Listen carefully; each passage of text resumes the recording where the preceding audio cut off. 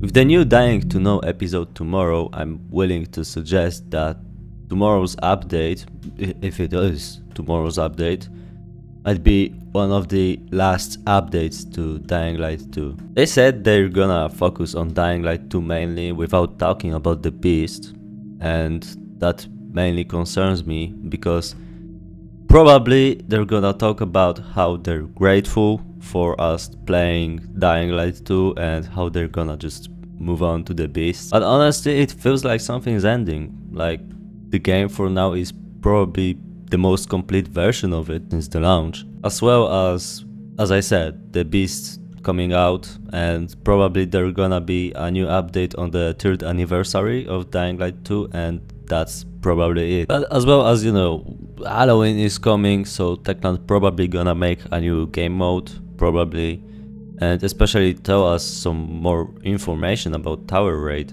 which we've been waiting for a long time. But if the update is weak or basically the same as it was the last year, just mark my words that it's gonna be the end of Dying Light 2. and I'm not meaning like the end of Dying Light 2 as the game is gonna be like done, fired.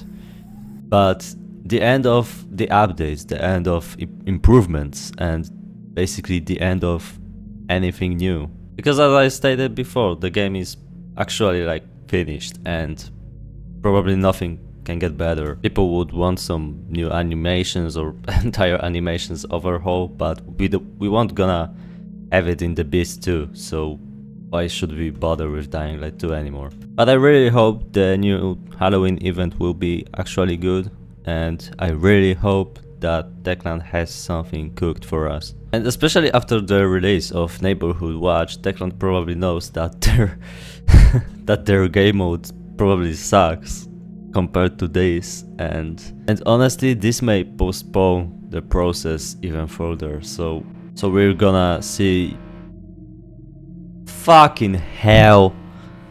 So we're probably gonna see the entire game mode in like 2025 and probably late 2025. Or they'll just say fuck it and release how it is right now and don't care whether it's good or bad. And that's also what makes new updates special, which is updating us on information whether Dying Light 2 still has like right to exist. But in all honesty, I'm kind of skeptical whether it's gonna be good.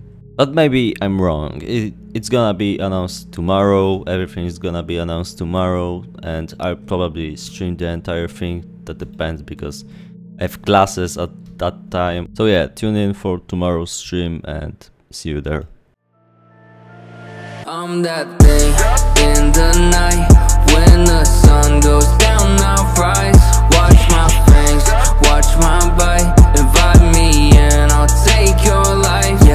for the dark ones.